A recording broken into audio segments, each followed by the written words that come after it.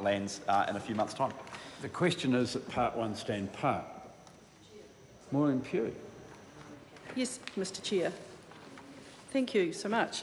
Um, and I too stand tonight in support of this, um, the Films, Videos and Publications Classification uh, Interim Restriction Orders Classification Amendment Bill in its committee stage tonight.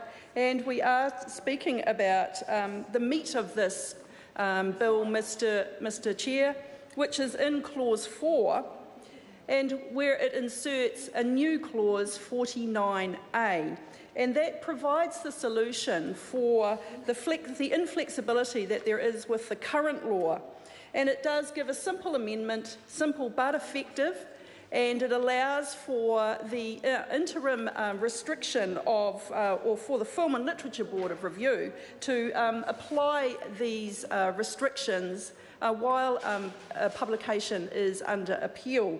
And we, we found that with the book Into the River by Ted Dawe, um, this was a completely inflexible system that we were operating under. And so this new section 49A uh, gives some very practical tools to applying these classifications, sir. Um, for instance, um, M in this classification would be restricted to mature audiences or a specific age group. And in granting uh, these applications, sir, um, there is an opportunity to apply these restrictions uh, across a variety of age groups or types, um, and also to decline the application if uh, that is deemed appropriate as well. The other part of this, um, part two, um, Mr. Chair, it relates to interim restriction orders where the High Court or the judge uh, must apply um, the same consideration to uh, these uh, restrictions on publications. And uh, the High Court or the judge also has the ability to apply uh, the various restrictions to age groups or types, as in mature or an age bracket, or to decline the application.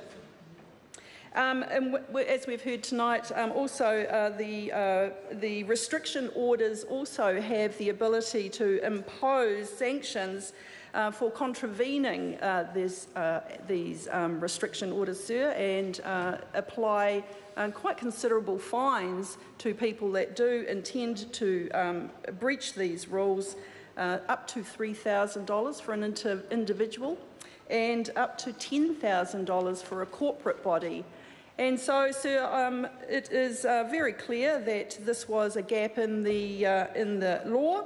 It has been ably filled by uh, this small amendment to the Films, Videos, Classifications, Interim Restriction Orders Classification Amendment Bill, and um, I commend it to the House. The question is part one stand part. Those of that opinion will say aye. To the contrary, no. The ayes have it. The question now is that part two, clauses 7 to 10, stand part. Oh, Mr Chair. Chris Bishop. Thank you very much, uh, Mr Chair. Uh, look, we've dealt